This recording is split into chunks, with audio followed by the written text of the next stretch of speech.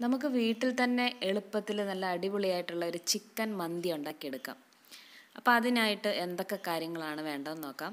ഞാനിപ്പോൾ ഇവിടെ ബിരിയാണി റൈസ് എടുത്തിട്ടുണ്ട്. ഒരു കിലോയാണ് എടുത്തിരിക്കുന്നത്. നന്നായിട്ട് കഴുകി വൃത്തിയാക്കി വെച്ചിട്ട് ഒരു ഇരുപത് മിനിറ്റ് നേരം നമ്മൾ ഇതുപോലെ വെള്ളത്തിൽ കുതിർക്കാൻ വെച്ചിട്ടുള്ളതാണ്. അതിനാവശ്യമായിട്ടുള്ള ചിക്കനാണിത്. ചിക്കൻ നന്നായിട്ട് കഴുകി വൃത്തിയാക്കി എടുക്കുക. അതിനുശേഷം ഒരു പാത്രത്തിൽ കുറച്ച് വെള്ളം എടുത്തിട്ട് അതിൽ ഒരു രണ്ട് ടീസ്പൂൺ വിനാഗിരി ഒഴിക്കുക. എന്നിട്ട് ചിക്കൻ ഒരു പതിനഞ്ച് മിനിറ്റ് നേരം അതിൽ മുക്കിയിടുക. അങ്ങനെ തിരിച്ച് മറിച്ച് ഇട്ട് കൊടുക്കുക.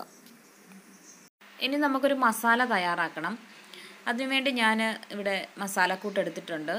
ഏലക്ക പെരിഞ്ചീരകം ഒരു ടീസ്പൂണ് കുരുമുളക് പൊടി ഒരു ടീസ്പൂണ് അതുപോലെ തന്നെ കറുവാപ്പട്ട തക്കോലം ഗ്രാമ്പു ഏല ഇത് ജാതിപത്രി ഉണ്ട് അതുപോലെ തന്നെ മല്ലിപ്പൊടി മഞ്ഞൾപ്പൊടി മല്ലിപ്പൊടി രണ്ട് ടീസ്പൂൺ മഞ്ഞൾപ്പൊടി ഒരു ടീസ്പൂൺ.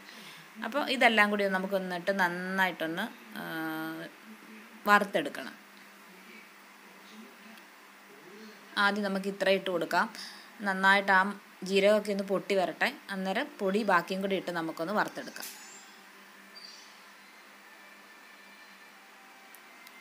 ഓക്കെ അത് ഏകദേശം റെഡി ആയിട്ടുണ്ട്.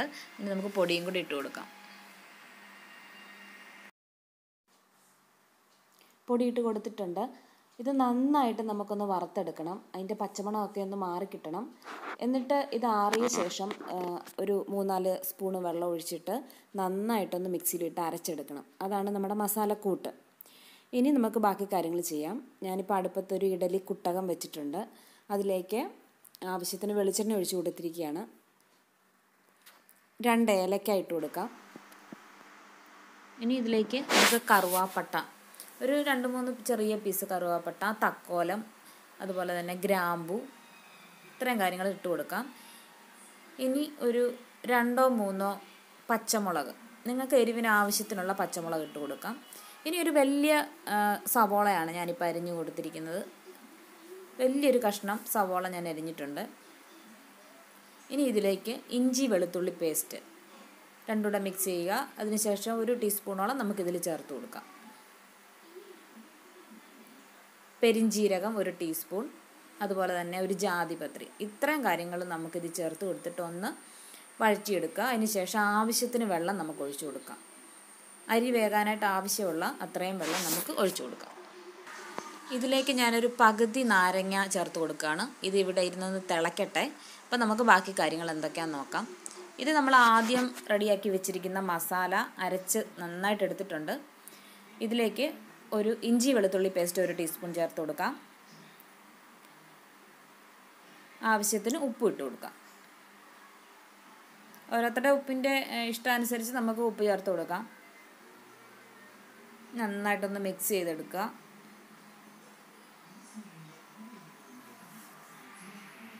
ഇനി നമുക്ക് ചിക്കനകത്ത് ഫില്ല് ചെയ്യാനുള്ള സാധനങ്ങളാണ് ഞാൻ എടുത്തിരിക്കുന്നത്.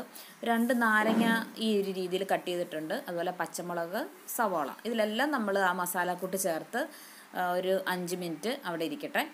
ഇനി നമുക്ക് അഞ്ച് മിനിറ്റിന് ശേഷം നമ്മുടെ ഈ ചിക്കൻ ഉള്ളിൽ നമുക്കിത് ഫില്ല് ചെയ്ത് വെച്ച് കൊടുക്കണം. നാരങ്ങയും അതുപോലെ പച്ചമുളകും സവോള എല്ലാം നമുക്ക് ഈ ചിക്കന്റെ ഉള്ളിൽ നമുക്ക് ഫില്ല് ചെയ്ത് വെച്ച് കൊടുക്കാം.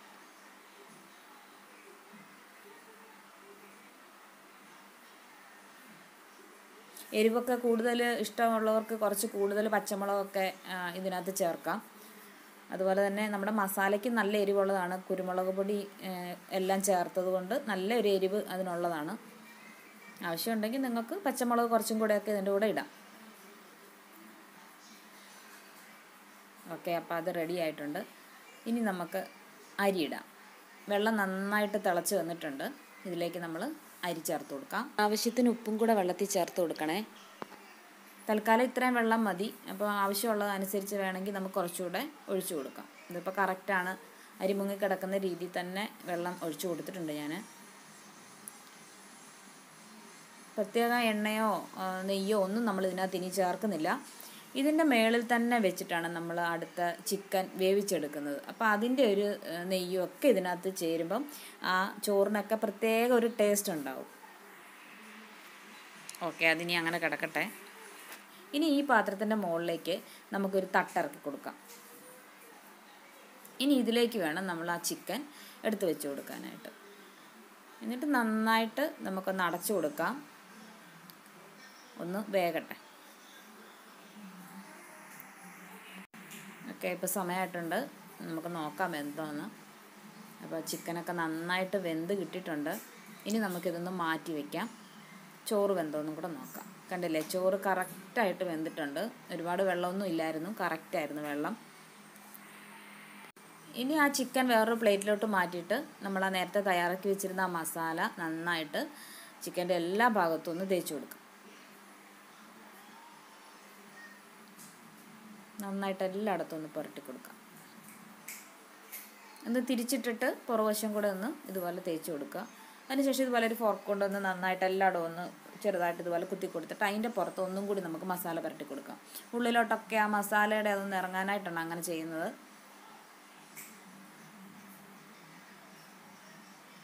നന്നായിട്ട് വെന്തിരിക്കുന്ന ആയതുകൊണ്ട് ഉള്ളിലൊക്കെ ഒന്നുകൂടെ മസാല ഇറങ്ങിക്കോളും. ഓക്കെ കുറച്ചുകൂടെ നമുക്ക് മസാല പുരട്ടി കൊടുക്കാം. ഓക്കെ അത് റെഡി ആയിട്ടുണ്ട്. ഇനി ഇതിന്റെ പുറത്തോട്ട് നമുക്ക് കുറച്ച് നാരങ്ങ നീര് എല്ലായിടത്തും ഒന്ന് പിഴിഞ്ഞു കൊടുക്കാം. അതിനുശേഷം ഒരു പാൻ നമുക്ക് അടുപ്പത്ത് വെക്കാം. വെളിച്ചെണ്ണ ഒഴിച്ചു കൊടുക്കുവാണേ. അതിലേക്ക് നമ്മുടെ ചിക്കൻ എടുത്ത് വെച്ചിരിക്കുക ചിക്കൻ എടുത്ത് വെച്ചിട്ടുണ്ട്. ഇത് നന്ന ചെറിയ തീ മതി. ഒന്ന് അടച്ചുകൂടെ വെക്കുക. അവിടെ ഇരുന്ന് വേകട്ടെ. അപ്പോൾ നമ്മുടെ ചോറ് റെഡി ആയിട്ടുണ്ട്. ഞാൻ ചോറ് വേറൊരു പാത്രത്തിലേക്ക് മാറ്റിയിട്ടുണ്ട്. ഇതിലേക്ക് നമുക്ക് ചേർക്കാനായിട്ട് തൈര് നല്ല പുളിയുള്ള തൈരാണ്. തൈര് എടുത്തിട്ടുണ്ട്. അതിലേക്ക് ആവശ്യത്തിന് ഉപ്പിട്ട് കൊടുത്തിട്ടുണ്ട്. നന്നായിട്ടൊന്ന് മിക്സ് ചെയ്യാം. ഒരര ടീസ്പൂൺ മഞ്ഞൾപ്പൊടിയും കൂടെ നമുക്ക് ഇതിന്റെ കൂടെ ചേർത്ത് കൊടുക്കാം. അര ടീസ്പൂൺ മതി. ഒരു കളറിന് ഫുഡ് കളറൂടെ വേണേൽ നമുക്ക് ചേർത്ത് കൊടുക്കാം. അത് വേണമെന്നില്ല ആവശ്യമുള്ളവർ മാത്രം ഒന്ന് ഇട്ട് കൊടുത്താൽ മതി.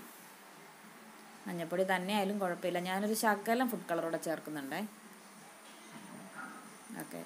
നന്നായിട്ടൊന്ന് മിക്സ് ചെയ്ത് കൊടുക്കാം.